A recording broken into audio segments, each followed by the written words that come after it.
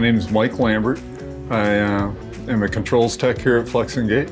Robots are instrumental in uh, production of any kind of product today. Working with collaborative robots is new to me since I got here at Flex-N-Gate. Prior to that, I hadn't any experience with collaborative robots. What I've noticed with the collaborative robots is that they're really easy for the operators to work around and with.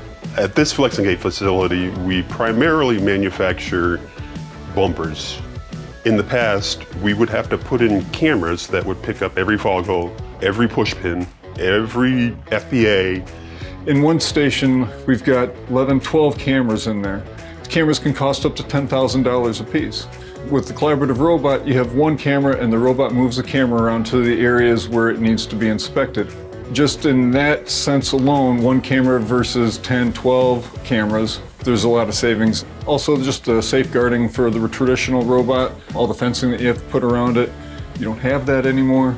Our other robots, we have these massive cages around, and then on top of that, you have to have all kinds of safety locks and auto locks. All that costs a lot of money. You save some space. Um, with a traditional robot, you have to cage it all off for safety. With a collaborative, the safety is kind of built into the robot itself. It doesn't have to be a big cumbersome chunk of real estate that you're taking up. You can also integrate that in with your regular line and with your regular employees. So the operators can work closely to it and with it. It makes it a lot easier for them and us, so they truly enjoy it.